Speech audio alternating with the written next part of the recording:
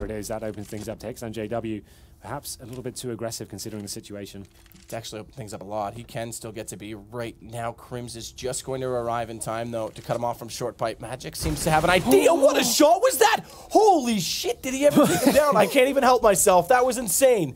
And now he's got it into a one-on-one. -on -one. Olof's got three kills already. Magisk with two.